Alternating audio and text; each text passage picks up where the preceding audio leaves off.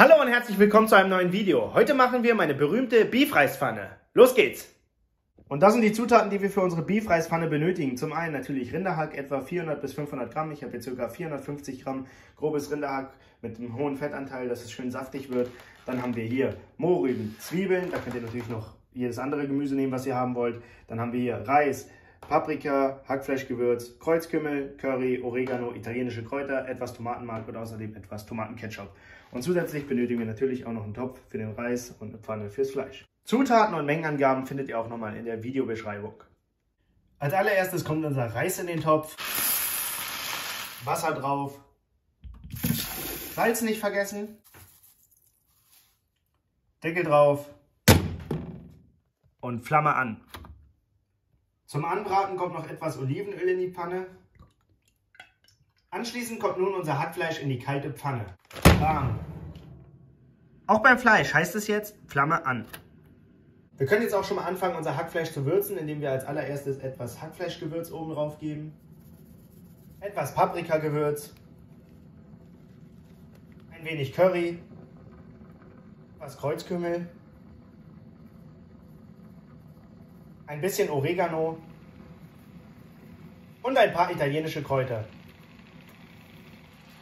Nun massieren wir die Gewürze in unser Fleisch ein.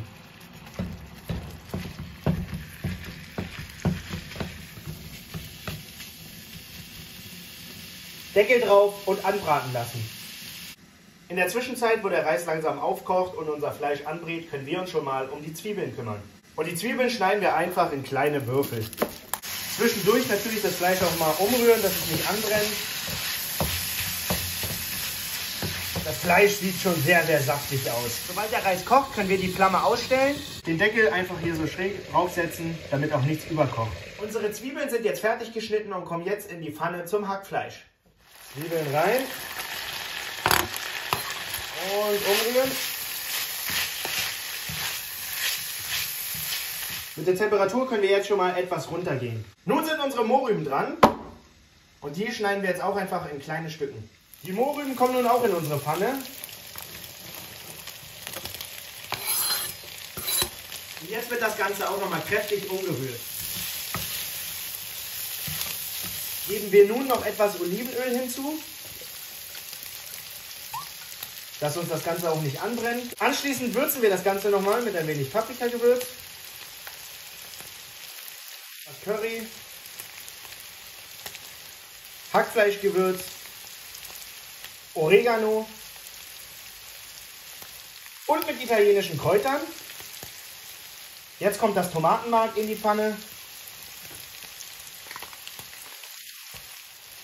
Anschließend noch einen guten Schuss Ketchup. Und das rühren wir jetzt um.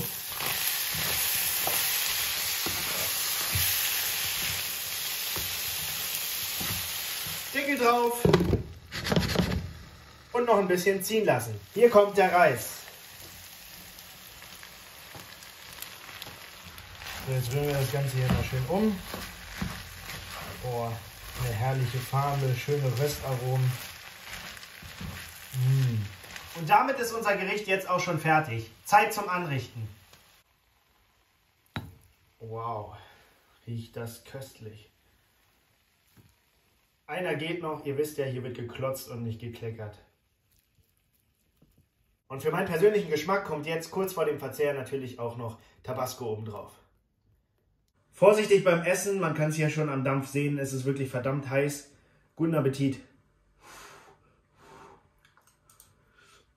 Mm. Mm. Es ist heiß, es ist würzig, es ist saftig, schmeckt wunderbar.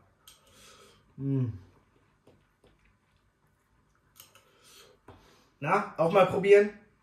Und das war's auch schon wieder mit diesem Video. Ich hoffe, euch hat's gefallen. Vielen Dank fürs Zuschauen. Ich wünsche euch einen guten Appetit. Habt noch einen fantastischen Tag und bis zum nächsten Mal.